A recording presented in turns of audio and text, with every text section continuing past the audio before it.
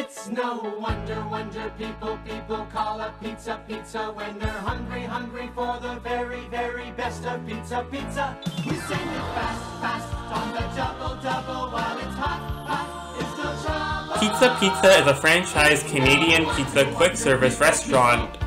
The company was founded on December 31st, 1967 by Michael Overs, and to this very day the company is still alive and healthy. So, how did it become so popular? Let's find out.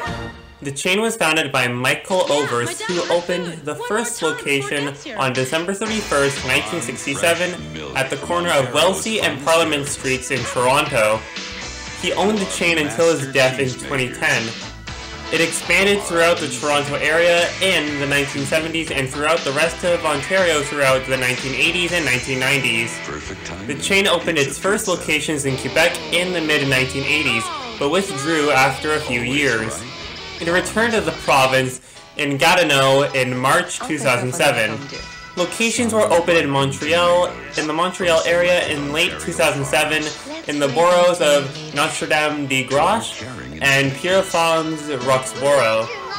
Pizza Pizza began to expand significantly outside Ontario during the 2000s.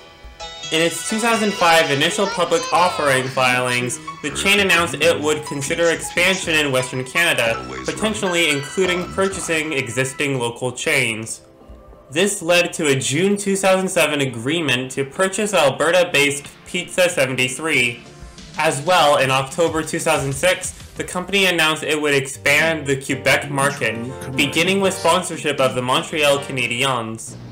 The chain expanded to the British Columbia Lower Mainland in 2009, however all locations closed, Pizza 73 already had a location in Prince George in the BC interior, and soon after added locations in Manitoba and Saskatchewan. The chain returned to Vancouver in 2018. Pizza Pizza opened its first store in Halifax, Nova Scotia in June 2010. And there's the history of Pizza Pizza. How did it become so popular?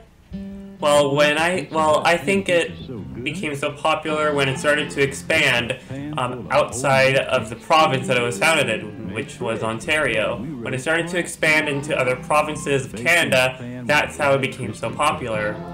Anyways, this is where I'm going to end off this video. If you guys happen to enjoy this video, please make sure to hit the like button. And also don't forget to subscribe if you're doing videos every single day. And also don't forget to subscribe and ring the notification bell on my second channel. My second channel will be the third link in the description below. And if you guys would like to and if you guys would like to send me fan art, you guys can send me fan art on my Instagram. My Instagram will be the second link in the description below. And if you ever do happen to send me fan art on Instagram, make sure that you also follow me on Instagram as well. And if you guys would like to join my Roblox fan group, my Roblox fan group will be the first link in the description below. And if you guys would like to follow me on Twitter, my Twitter will be the fourth link in the description below. And if you guys would like to follow me on Reddit, my Reddit will be the fifth link in the description below. And if you guys would like to follow me on TikTok, my TikTok will be the sixth link in the description below. And if you guys would like to check out my Facebook page, my Facebook page will be the seventh link in the description below. And until then, I will see you guys in the next one. Have a Merry Christmas, and I'll see you guys in the next one. Goodbye!